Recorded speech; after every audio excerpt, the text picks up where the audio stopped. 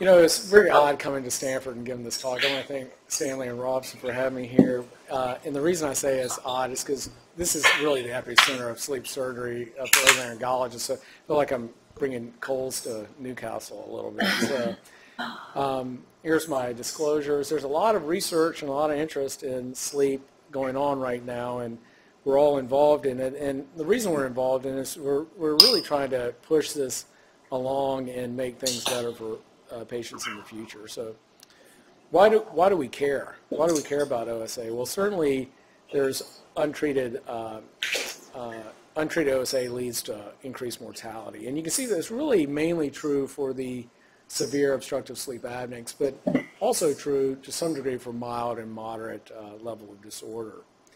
And another reason we care is that CPAP, which is considered the gold standard therapy, really is a very efficacious therapy, but not very effective. And it's not very effective because people don't wear it. You know, it's been various studies have showed 46 to 83 percent of patients wear their CPAP for less than four hours a night.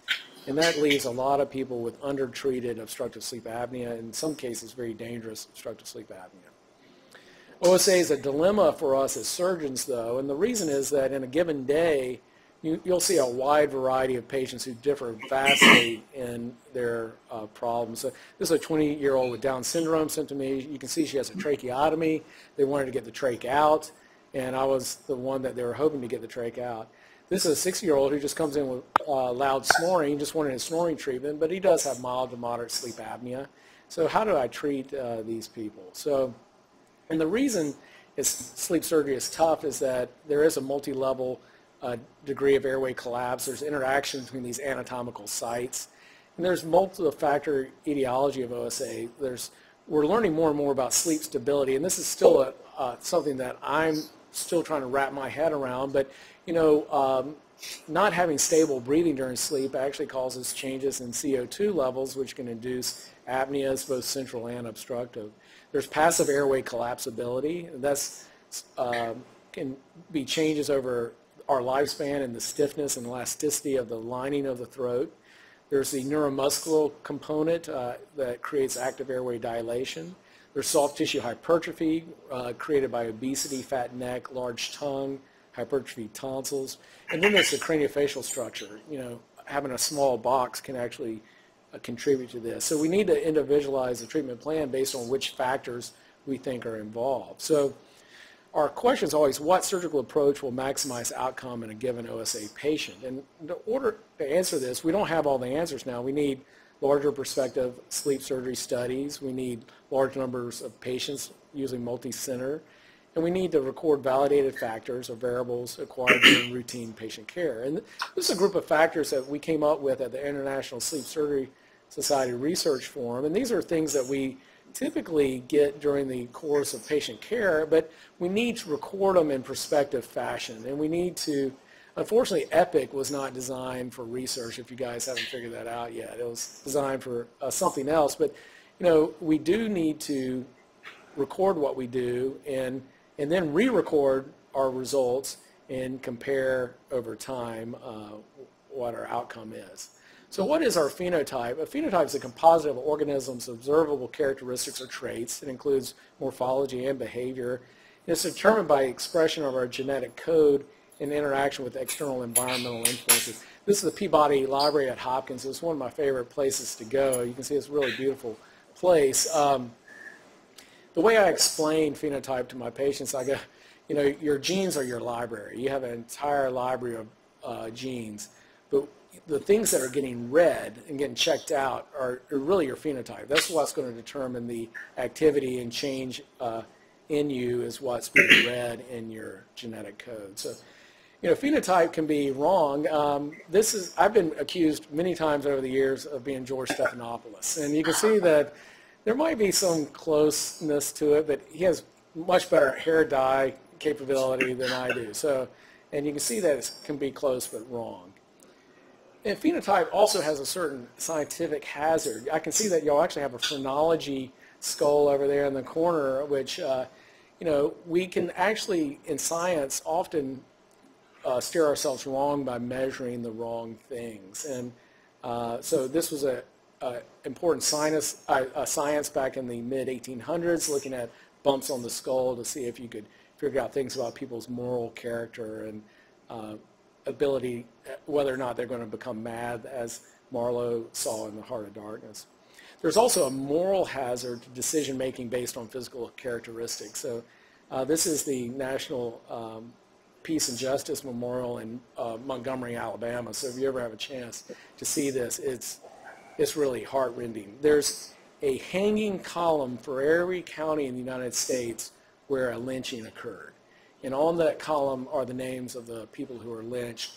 And I hate to say there's hundreds of these columns. So certainly we have the scientific hazard, we have moral hazard of making decisions based on physical characteristics. However, we've been doing it for quite a while in sleep surgery already. And one of the first kind of successful demonstrations of this was Michael Friedman's paper on clinical predictors of obstructive sleep apnea based on fairly straightforward paradigm looking at tongue position, tonsil size, and body mass index. And based on these three characteristics alone, there's a lot of predictive ability of who's going to respond to palatal surgery. Certainly large tonsils, normal tongue, 80% cure rate with soft palate surgery alone. Normal tonsils, normal tongue, 40% cure rate.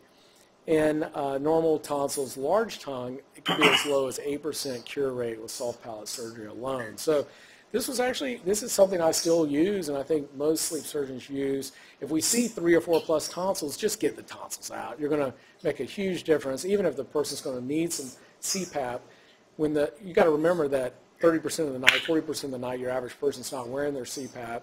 You can do them a big favor by getting those tonsils out. So what are the phenotyping tools at, at our disposal? Certainly history, physical exam, our sleep study, certain imaging, and perhaps drug-induced sleep endoscopy, which I'll go into a little bit more fully. So on history, I, spent a lot more time recently thinking about insomnia. And the reason I do that is insomnia can be a real problem, uh, both for people who are trying to learn how to use CPAP, but also for non-CPAP alternatives. Uh, one of the most common ones now is upper airway stimulation. And we do know that people with insomnia have uh, issues with that ask about respiratory instability. I mean, that certainly is often associated with insomnia, frequent waking and gasping, poor sleep quality, light sleep, and certainly nasal uh, complaints. On physical examination, I'm looking for things that would be less favorable for UPP, such as BMI. We know that greater than 32 is associated with worse outcome. Neck girth, 17 inches in male, 16 in female. Modified Mallampati scores of 3 or 4. Jaw size, looking at high arch maxilla, retrognathia misalignment. This makes me not want to operate on people. I know that here you guys love these guys and do all this fancy jaw surgery, which is awesome, and uh, I wish that uh, we had better training in that uh, across the country. And certainly smaller tonsils less favorable. On PSG, you can get some hints. Uh, you know, if the supine to lateral ratio is 2 to 1, you might think there's some tongue compression. If it if your ratio of AHI goes up during REM sleep, it's likely due to neuromuscular collapsibility. And certainly imaging to look at jaw, jaw abnormalities. So, you know, when I try to categorize patients uh, in their non-PAP treatment selection, I think, does this patient have too much tissue? And if they do, I'm thinking a tissue reductive surgery such as UPP, partial glossectomy. Certainly weight loss or bariatrics play important roles. So these are your more obese patients, which I have a lot of, unfortunately, in Memphis acquired macroglossia. These are people with very large tongues, often with teeth indentations on the lateral tongue or adenotonsillar hypertrophy, including lingual tonsils. Or is the box too small? Do they have a small compressed craniofacial structure? And that can be addressed with MMA or maxillary distraction. Usually these patients have normal uh, BMI. They have what I call relative macroglossia. It looks like a, a large tongue, but it's really just a small jaw. Narrow mandibular arch, high arch palate, malocclusion, retrognathia, open or cross bite? Or is their tissue too lax? Do they have poor neuromuscular tone? This is a group that we think about inspire therapy. Or do they have increased collapsibility? Do they just need tissue stiffening or repositioning, such as myotomy, suspension, or radiofrequency? Often these are normal weight people, normal tongues. They have these issues on supine sleep and REM sleep with increased HI. So Let's talk a few minutes just about uh, drug-induced sleep endoscopy and its potential role. So uh, awake endoscopy is something that we typically do. It's actually part of the paradigm for evaluating your patient who comes to you with sleep disorder breathing. It's certainly easy to perform. It's easy to do in the office, relatively cost effective. You can identify inflammatory issues that need treatment as part of your medical management, such as allergy, polyps, laryngopharyngeal reflux. And you may identify narrowing from tissue hypertrophy such as adenoid, palatine tonsil, pharyngeal wall squeeze, lingual tonsils, or tongue-based hypertrophy. Unfortunately, it has poor predictive power with regards to sleep surgery outcomes, and that's the reason why we've been introducing more drug-induced sleep endoscopy. Again, drug-induced sleep endoscopy is easy to perform. However, it is more costly. It requires either OR bronchoscopy suite. You do visualize all three levels of the airway, nasal, oropharynx, hypopharynx. You can correlate this real time with oximetry data.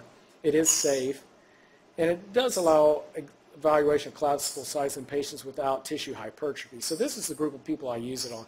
If I see tissue hypertrophy, often I won't do sleep endoscopy, but if they have a normal appearing airway on awake endoscopy, I find that drug-induced sleep endoscopy is going to give me more information. So it allows you to characterize the collapse pattern during snoring and apneas. The VOTE system's been a popular way of grading uh, DISE. It's certainly easy to do. I don't know if you guys use a more elaborate uh, grading system here. It's the one I still use. It kind of tells you the site, the velopharynx, oropharynx, tongue, or epiglottis, the degree of collapse, whether non, partial, or complete, and the pattern of collapse, AP, lateral, or concentric. So, but the problem is, are these findings any better at predicting than awake endoscopy at predicting surgical outcomes? So, well, let's look at drug-induced sleep endoscopy's effect on sleep surgery decisions. Well, I don't need to tell you much about this. You guys already know this. You've written the paper on it. But this is a good paper that came out not too long ago, uh, a meta-analysis of eight studies by Dr. Capasso and the group here comparing awake endoscopy to DISE. And they found that treatment decision changed uh, after DISE 50% of the time. So it certainly was affecting the way surgeons thought about uh, treating the airway.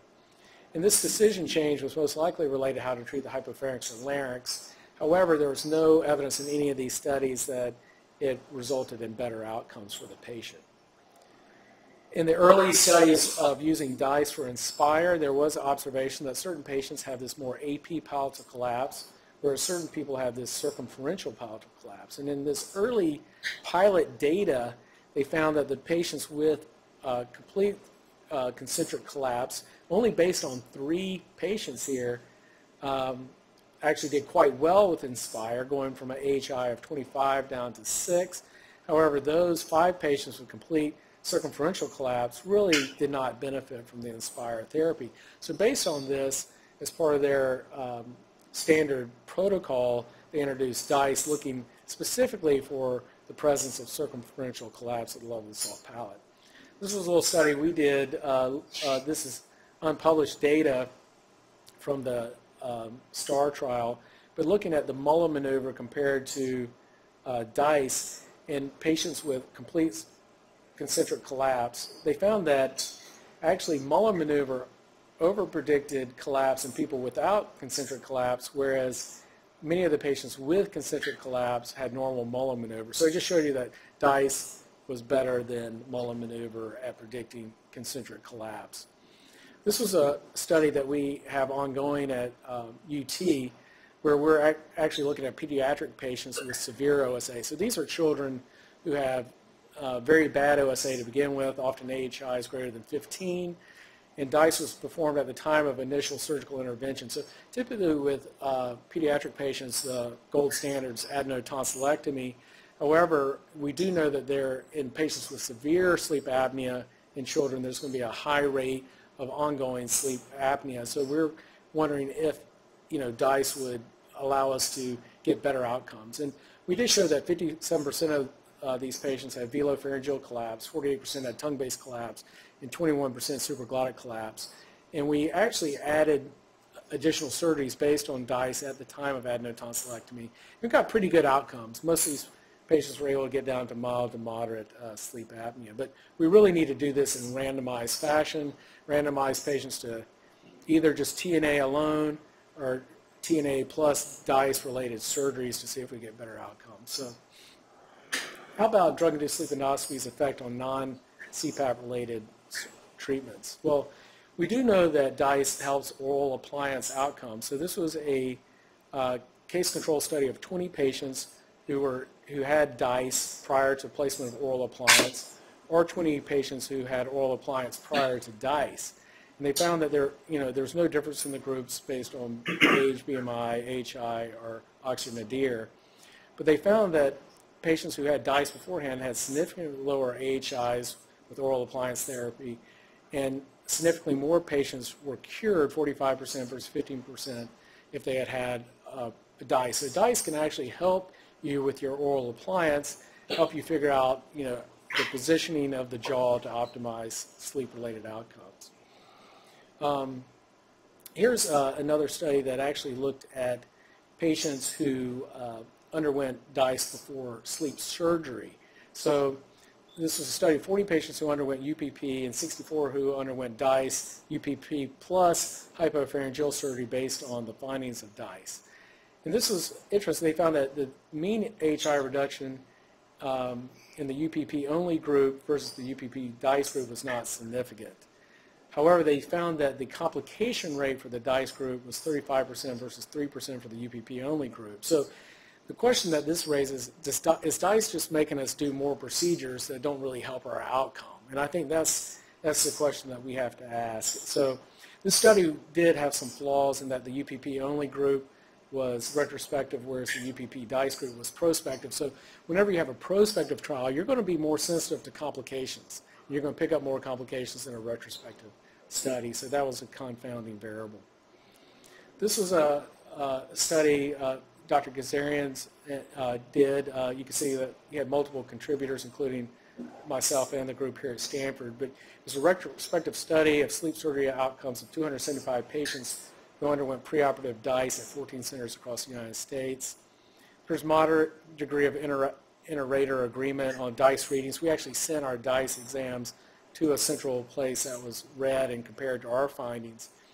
41% of patients demonstrated surgical response rate, so that's an AHI of a drop of greater than 50% and overall AHI of less than 50, 15%. And they found that collapse of the lateral wall of the oropharynx or complete tongue-based collapse was associated with poor surgical response. So, you know, this study didn't really show that DISE actually improved our surgical outcomes, but it did show that there are certain groups that are associated with poor surgical outcomes, and that's the lateral wall of the oropharynx or complete tongue-based collapse. This was an international study of DISE, uh, comparing centers that perform DISE routinely to those who don't and it was a retrospective study of 326 patients at seven international sites. 170 patients underwent DISE, 156 patients had no DISE. They found that the DISE group had a 48% AHI decrease versus 60% AHI decrease for the no DISE group, which was significant. However, this study also had some problems. I actually reviewed this study. I was one of the reviewers. Um, I thought it was good enough to get out there, but it did have some major flaws, one being that they failed to control for different outcomes among study sites, procedural differences among study sites, and the reasons for DISE among study sites. So some, some of these sites were probably only performing in DISE in people they thought had more severe sleep apnea. How about DISE and upper airway stimulation outcomes? Well, this is where DISE is probably helpful, okay? So we know that upper airway stimulation works in properly selected patients, and the properly selected patient is one who has the DISE profile that we're choosing. So this is the STAR profile, uh, STAR trial patient group. Uh, they had a mean AHI of 29 at the start of the study. At five years out, mean AHI reduced to 6.2. Pretty good results, better than most of what we can achieve with soft tissue surgery alone. Also, improvements in the Epworth Sleepiness Scale that's normalized at 60 months. Also, close to normalization of snoring levels in majority of patients at 60 months this is follow-up uh, research. This is a, um, a, group of American and European centers. This is after a post-approval study of a group of patients who underwent um, upper airway stimulation with a mean AHI of 36 going down to 10 um, and normalization of the Epworth Sleepiness Scale score. So again, we know that we're getting good results with upper airway stimulation, but we're choosing these patients based on DISE. DISE must have a positive impact on that. This is just a group of patients I looked at. I have a prospective study of my own going on, and most of the patients I'm doing DISE on, I'm doing it for a reason, either someone who I can't see the reason why they have sleep apnea or they're being actively evaluated for upper airway stimulation. But you can see that if I'm just looking at my vote scores, my vote scores are worse in my DISE group than my awake endoscopy. So that tells me that you are picking up more on collapsible sites when you do DISE, and that is significant. However, when I compare my sleep surgery outcomes, this is just a small study, but it's, it's ongoing. This is just some preliminary results to my non-DISE groups, really not seeing any significant difference in, uh, in outcomes as far as uh, sleep surgery outcomes. So is DISE reliable and repetitive? So this was uh, a study of whether DISE was liable in determining candidacy for upper airway stimulation therapy. And uh, what we did is we took 64 DISE-related videos from the STAR trial, and we had expert viewers review these. 10 of these were judged to have had complete concentric collapse and 54 without. And we had uh, multiple uh, experts look at these and, and grade them. So what we found was that the experts, five out of five experts agreed 66% of the time. Uh, there was four out of five agreeing 12% of the time. So I consider 78% of the time experts, you know, had pretty good agreement. But there were cases where there was disagreement. So this does show you kind of the limitation of DISE. And I'm going to kind of, I'll just show you a few examples. So this is the kind of stuff you're looking at at sleep endoscopy, especially if you're judging a patient for candidacy for um, Inspire, you know, is this AP collapse or is this circumferential collapse? And it's not always straightforward. Um, there's certain things that I look for. So I'm looking for an oblong airway. If I see an oblong airway and not a circular airway, that's better. I'm also paying close attention to movement of the posterior wall and lateral wall. Obviously, that's an apnea right there. Um, but if I'm seeing a more oblong airway and very little motion in the posterior or lateral wall, uh, I think it's mainly going to be AP collapse, okay? I'm just going to flip through these. So what's the what's our feeling on DISE? Well, DISE may improve the effectiveness of oral appliance fitting, However, it may not help improve outcomes of soft tissue upper airway surgery over awake examination alone. I think the results of upper airway stimulation outcomes validate the use of DISE for screening for this role of surgery. It may have a role in the initial surgery selection for severe pediatric OSA, but it remains a subjective evaluation with expected disagreement at 20 to 25% of cases. And therefore, I think we do need continued research and other more precise methods, which I think probably you guys here at Stanford are doing. You've got so many smart engineers and things around here. I hope that we see more roles for things like sleep MRI or other modalities in the future uh, that can tell us a little bit more. So sleep disorder breathing in older adults is a particular interest of mine, and I'm going to get into this a little bit more.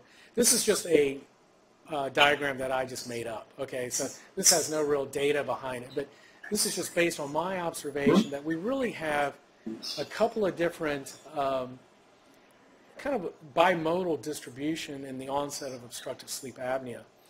We, we see these people in their 20s, 30s, and 40s, but we also see a group that never had it that start to get it in the 60s and 70s. I'm 52 and I'm starting to have it. So I'm very aware of this right now.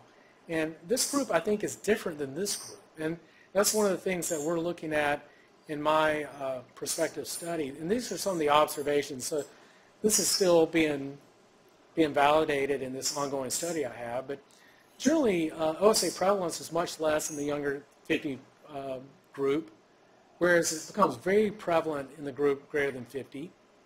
OSA severity is worse in this younger group and less severe in this older group in general. This is male predominant in the younger group. It's more equal postmenopausal in women. BMI is certainly larger in this younger cohort, smaller in this older cohort. Neck circumference goes along with that, larger, smaller. Tonsil size, larger, smaller. Yep. OSA effects are different. So you get much more cardiovascular morbidity and certainly quality of life effect in this younger group, whereas the quality of life becomes predominant in this older group. Tissue-related effects, craniofacial effects are very much a cause in this younger group. but we're seeing more tissue collapsibility and neuromuscular effects in this older cohort. So what do we know about sleep disorder breathing in older adults? Well, it's very prevalent. If you look at people greater than 65, our senior citizens, 62% will have AHI greater than 10, 44% have AHIs greater than uh, 20, and 24% have AHIs greater than 40. So extremely prevalent. Can we treat all these people? Do we need to treat all these people? I think that's really the appropriate question. Postmenopausal women have 3.5 times the risk of AHI greater than 15 than premenopausal women. So there is a hormonal factor involved with this. And then we have loss of neuromuscular tone associated with physiologic aging. We know that. So this affects the throat as well. So this is an interesting study looking at the collapsibility of the airway in a 75-year-old compared to a 20-year-old using negative pressure. And they found that it takes a lot less negative pressure to collapse the airway of a 75-year-old than a 20-year-old. You can see that the, the pressure drop had to drop down to, to close the airway down to around 20 centimeters of water versus only about 5 for the average 75-year-old. So also we know that there's reduced neuromuscular tone. There's slower reaction times in our main airway dilator, the junior glossus, in older, uh, even older awake adults. Uh, so, and that's worse in older adults with OSA. So we have less uh, reaction time in our genioglossus dilator.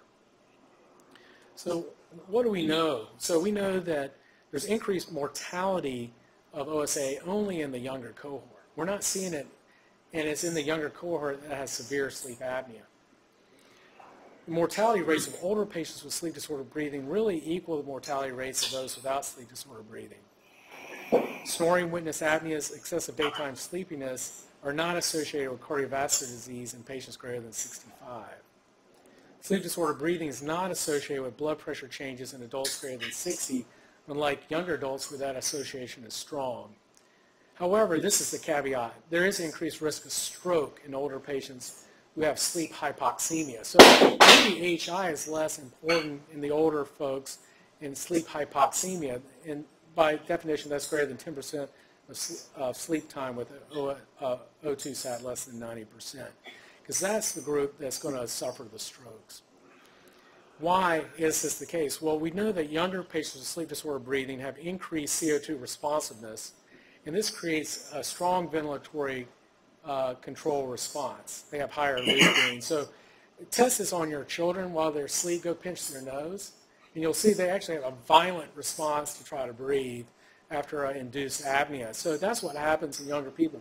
They get greater pressure swings in the intrathoracic space, heart rate changes, unstable breathing patterns, and catecholamine release. Whereas in older people, you have predominance of airway collapsibility and neuromuscular decline. They also have less CO2 responsiveness, and they're not having the violent wake-ups during sleep that the younger cohorts have. So, so what's the, how does this affect our treatment? So which therapy should we use to address airway collapsibility and neuromuscular decline? Well, CPAP is still the treatment of choice for moderate severe sleep apnea in older adults. CPAP has similar adherence rates in older adults compared to younger adults. Its best adherence is seen in older adults with more severe disorder. In older, older adults who adhere to CPAP realize similar benefits, reduced snoring, reduced sleepiness, although the cardiovascular improvements are unclear. In CPAP adherence, patients show a significant improvement in tests of mental agility and memory. So that's the main thing. We're probably helping their quality of life a lot with uh, mental agility and memory. And there's reduced need for daytime napping and reduced nap duration. When the patients, older, oh, thank you. When older patients do struggle with um, CPAP, we have to, I think of them a little bit differently. I, I want cost-effective treatments. I want minimally invasive treatments. I want things of low morbidity with rapid recovery. And I really want, because I know that their mortality is not at risk as much, I really don't want to do things that are going to cause them a lot of pain and recovery. So the severity of the disease should not, the cure should not be worse than the severity of disease. And and we really want to address their outcomes of interest, which is snoring level, daytime sleepiness, and sleep quality. I think now we have a grab bag of different things that we can use in older adults with sleep disorder breathing that may actually be fairly minimally invasive, but actually quite helpful to their quality of life and sleep quality. There's things like Latera for nasal valve collapsibility. Soft palate collapsibility, we can use tissue stiffening procedures. Oropharyngeal collapsibility, that's an area of interest of mine that we're still developing. I'll talk about in a minute. Hypopharyngeal collapsibility, uh, uh, we can do static procedures such as hyoid suspension, oropharynx and hypopharynx collapsibility, oral appliance can be helpful, or uh, upper airway stimulation therapy if you want a dynamic treatment. So soft palate collapsibility. So there's a lot of ways to stiffen the palate. I frankly use all of these uh, at various times in my career, but this is what I found. I've read everything on snoring, and I'm going to sum it up to you in this one slide. No single technique will cure snoring. All, all actually, though, can reduce snoring volume by 30 to 50 percent based on bed partner visual analog scale. So that's what I tell patients. I go, we're going to manage your snoring, we're going to reduce it, we're going to try to make your spouse happy. They can all reduce daytime sleepiness by 30 to 50 percent based on Epworth. All show a trend towards reduced effectiveness over time, with the best effectiveness being about two years. So this is often something that needs to be repeated. Scar tissue softens with time. All these things cause minimum levels of pain, not requiring narcotics. That's good. All are safe with few complications, uh, device extrusion being a main one or tissue ulceration. And all can be used for first-line option for snoring, upper airway resistance syndrome, or mild OSA. And all can be combined with multi-level procedures such as nasal surgery or basic tongue radiofrequency or oral appliance to further reduce snoring and improve treatment outcomes. So here's my summary of all the different things that I've used. Um, and they vary in evidence from good evidence to kind of limited evidence. And you can see that they, uh, kind of the new thing is Elevoplasty. Pillar's kind of been put on hold recently. It's kind of in company no man land. Uh, but I still think it's a decent procedure if somebody uh, takes on that, uh, some corporation wants to buy that uh, device. But basically they differ mainly in this, which is price. You can see this price points of what it costs you in your office to offer these. And because of this, I've been using much more of this barb suture. Let me show you that. So this is what I do in the office. I take a $30 barb suture and I do a little W-plasty to the soft palate. So it's a double arm suture. I throw one throw across kind of the mid palate. I then go in the same hole down near the uvula and then I go in that same hole up and out, creating this W. And I charge my patients 300 bucks for that. So it's a $30 suture. It's 300 bucks. It takes me five minutes to do. But actually, I tell them it's a resorbable suture. I go, we're going to test this concept. That's affordable price. We're going to see if stiffening your palate actually makes it better. If it does, maybe we'll move on to something more complex, more expensive. Here, here's the procedure kind of sped up in time, but you can see it's pretty easy to do. Just kind of, and the patient's comfortable. We sprayed them down with a little Pontocaine and injected two or three cc's of local. And you're just kind of doing your little W-plasty in the soft palate. It actually does create compression with your barbed suture and a bit of lift as well. And that's what you're trying, the things like Elevoplasty and fancier things are trying to do um, but it's similar and it's cheap, and that's why I like it. I mean, Memphis is not Palo Alto. We don't, you know, you might occasionally see a Tesla on the road in Memphis, but not too often. So we still like our fossil fuels there. But um, tongue tongue stiffening certainly is something I've been doing for a long time. Radio frequency can help with that. It's easy to do. You can do it in the office under local anesthesia. I typically will do two puncture holes, and with each puncture hole, do three treatments. And so six total lesions per treatment. And you can see after two or three treatments, you start to get remodeling of the tongue. It does have some modest effects on snoring in people who don't have massive tongues. These are people, again, with at most mild sleep apnea. How about oropharynx soft tissue advancement? Well, is, these are the things that we've been doing expansion pharyngoplasty for for years, but can we do it less painfully? And these are things that we're studying now.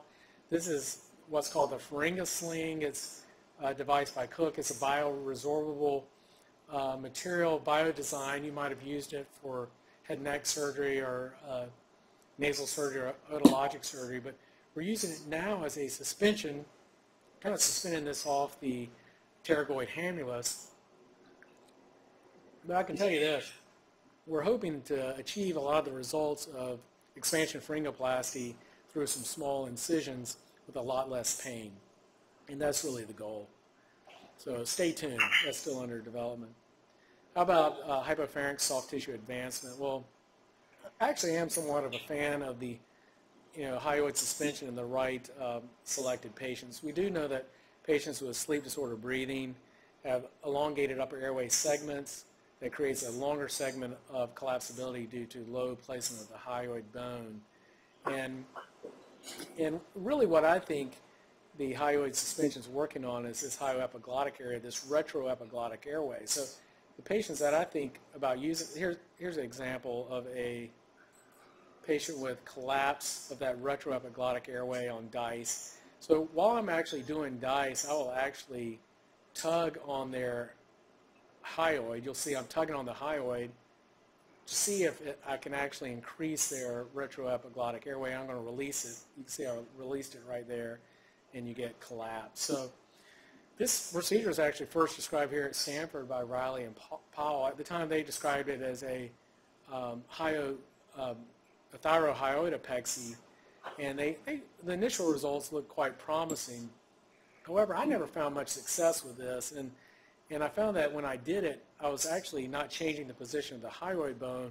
I was lifting the larynx. So uh, I don't know if I was really doing much of anything to the hypoglottic airway. So, um, so really what I think we're trying to do is get a hyomandibular suspension to create that retroepiglottic airway and enlarge it. So and this shows us on, this is Mike Abedin who's done a lot of work on this shows what it can do. You can see the airway here. Here's the hyoid bone.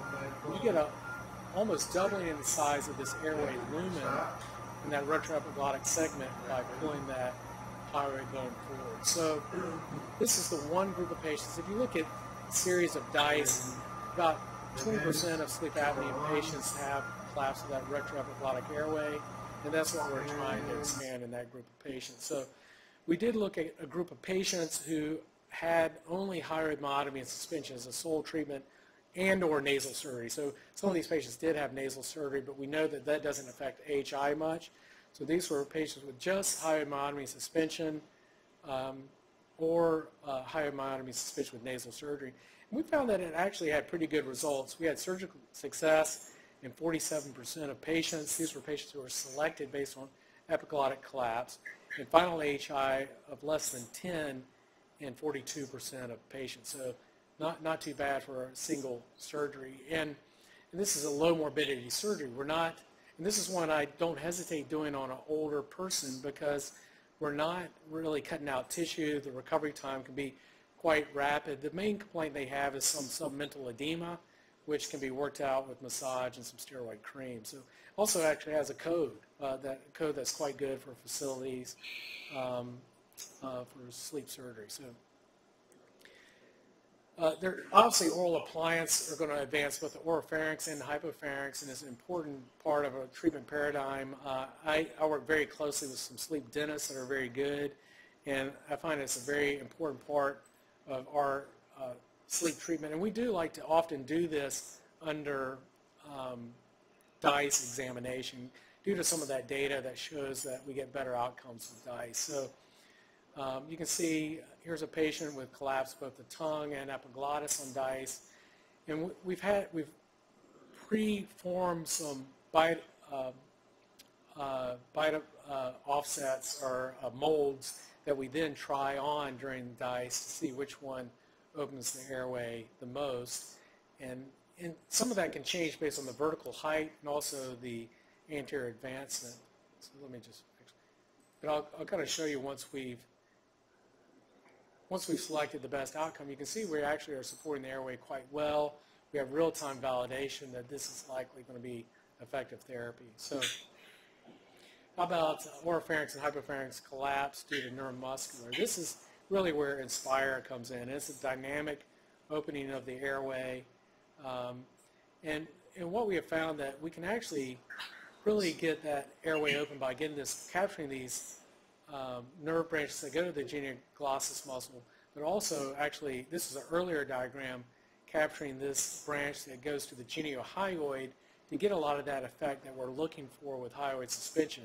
And here's, here's examination of the effect of that on the hypopharyngeal airway. You can see during stimulation, you get massive. That's also putting stretch on that lateral hypopharyngeal wall that can give you collapse. So pretty impressive. So um, I'm going to flip through some of this. The point here, though, is that the group that's going to benefit the most is actually our older patients, and they're the ones with the neuromuscular collapse. So this is a recent study that came out comparing younger with older patients who underwent upper airway stimulation. The older adults greater than 65 years had a 30% better response of HI and greater normalization of Epworth scale scores and higher nightly usage rates compared to younger cohorts. And it's probably based on that self-selection of patients having a different uh, morphology of or pathophysiology as they age. So in conclusion, sleep surgery outcomes will improve with better patient phenotyping. Older patients with OSA, including snoring, may have a unique phenotype characterized by both uh, increased tissue collapsibility and neuromuscular decline. Newer surgical techniques can address these underlying issues for older patients with less morbidity. And I think the outcomes that a lot of these patients are going for go beyond HI, include snoring, sleepiness, function, and memory and concentration. So I'll stop there for any questions people may have at this point. So, thank you. That is.